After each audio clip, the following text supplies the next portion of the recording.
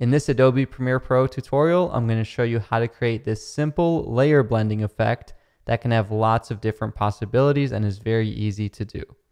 So to begin, I'll just drag whatever clip I'm working with. So whatever clip you're working with on the timeline.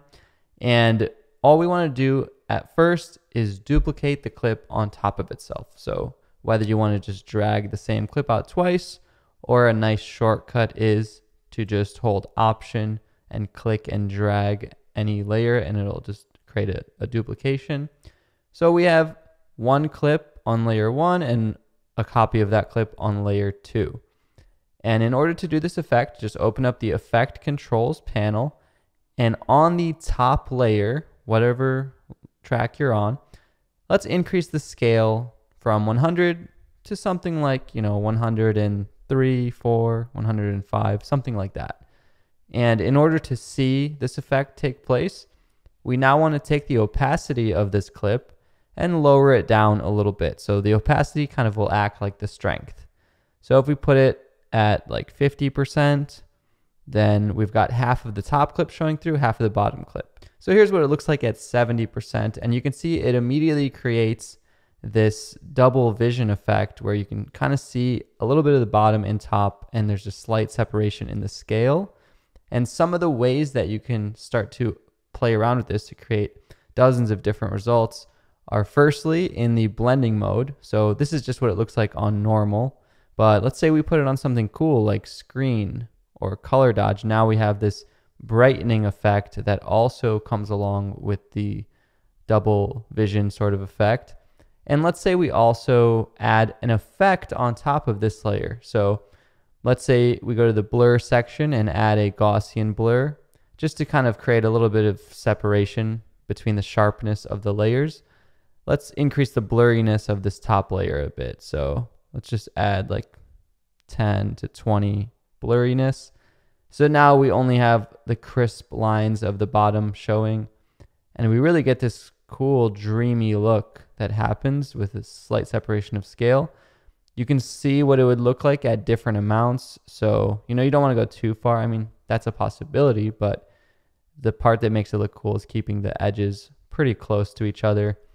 And we can also see what happens if we put it on put different effects on this. So what if I put an invert effect on this, for example? Uh, this would completely change the colors. Or what if I put a different blending mode on this, such as difference or exclusion or something like that? We, we get different possibilities for effects. And a couple other ideas that I found playing around with this are even if you offset the time. So right now the two clips are directly on top of each other. But what if I was to shift one over like one frame or one second? Now we have the same clip, but it's just slightly offset. So let's go like right here. And now not only do we have a stutter in the, the edges, we also have a stutter in the time, creating this really cool echo effect. Uh, additionally, just to get a little bit advanced here, you can think about playing with the speed of a clip. So this is just offsetting it forward a little bit. But what if instead of doing that, we just use the rate stretch tool or something to make one clip a little slower or a little faster and see what happens there. That's a, a different sort of effect you can make. Or you could also see what happens if you add keyframes onto this. So let's say we go back to our original effect. You know, if you ever click on this stopwatch icon, so let's say we toggle the opacity and the scale. And as we go through, we kind of make it get a little bit bigger or maybe get a little bit weaker in strength.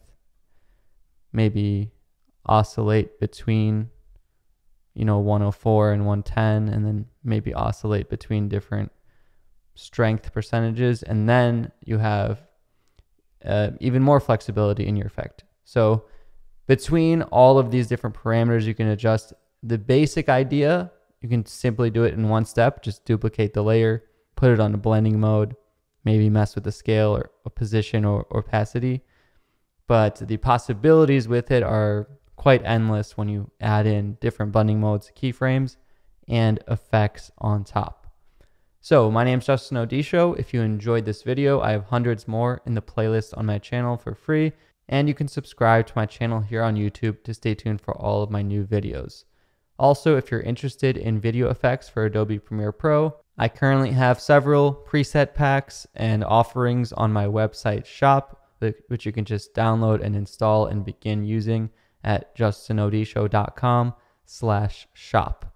So thank you so much for watching, and I'll see you in the next video.